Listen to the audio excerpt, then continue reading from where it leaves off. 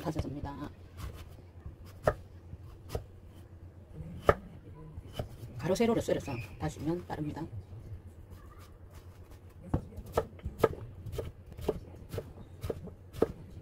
세로 반 잘라 가시도 돼요.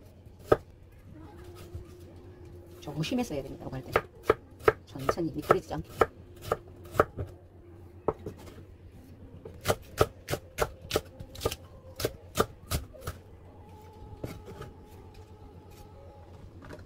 홍고추, 송고추도 송송 썰어주세요.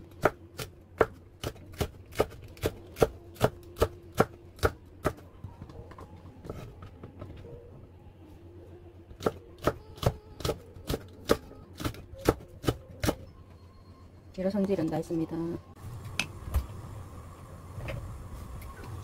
참기름 한 개 넣고 볶아주세요.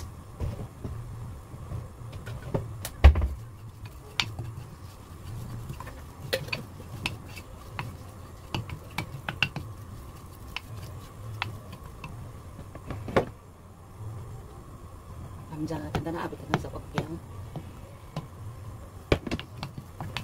육수를 조금씩 넣어가면서요. 육수가 딱 끓여놨습니다. 멸치, 다시다, 양파 껍질,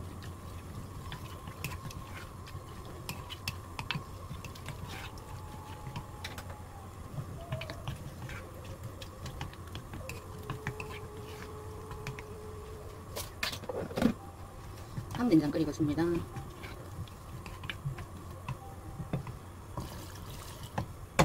그래서 뚜껑을 닫고 좀 끓이세요. 감자가 익을 동안요. 뚜껑을 닫고 끓입니다.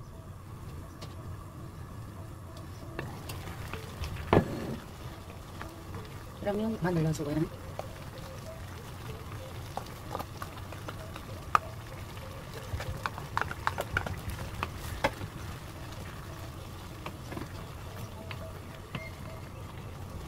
볶게요. 안 해도 될 것 같아요. 얘들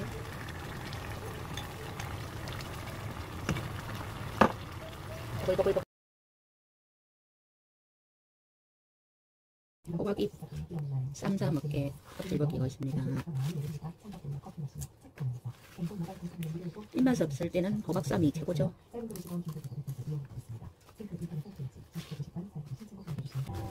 다 했습니다.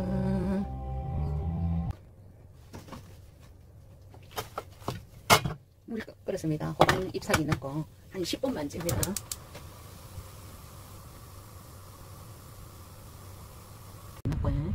호박 잎쌈을 쌉니다.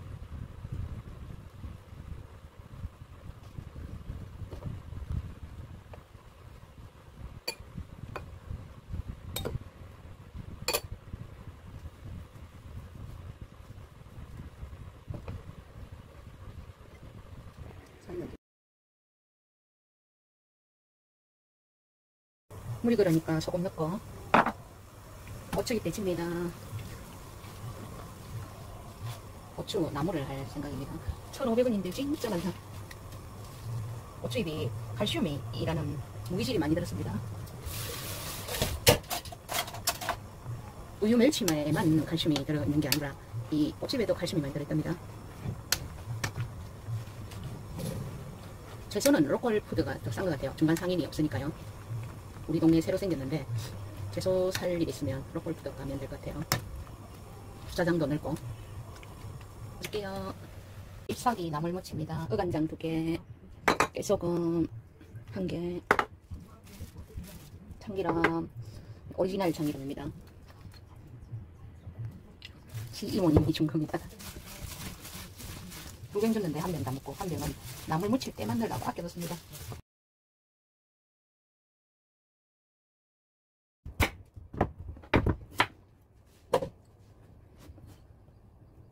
호박나물입니다.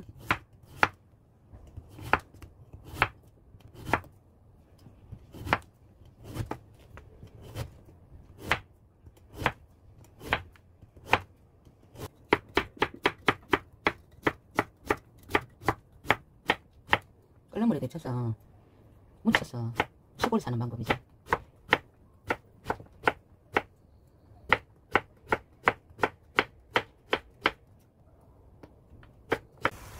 끓으면 소금 넣고 호박 데칩니다.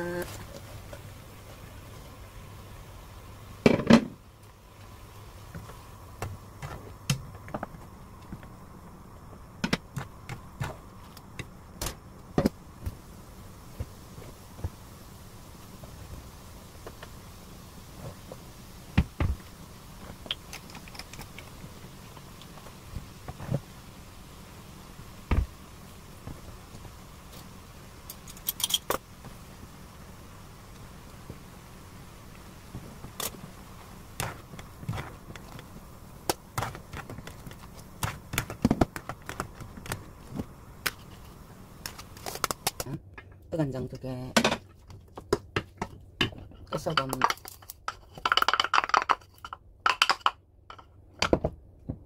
참기름,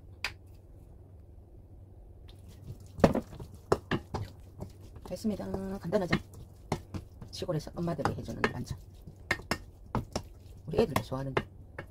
근데 클리는 좋아했는데 지금은 또 입맛이 바뀌어서 애들도 크가니까 입맛이 바뀌더라고요.